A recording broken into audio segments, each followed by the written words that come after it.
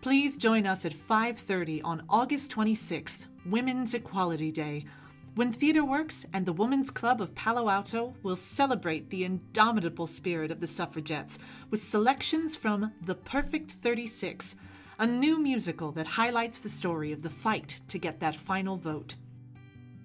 Can you feel it?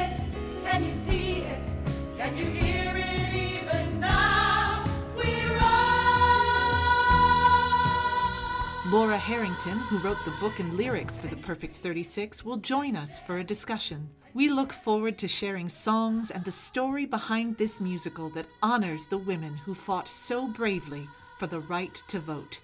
We are lifted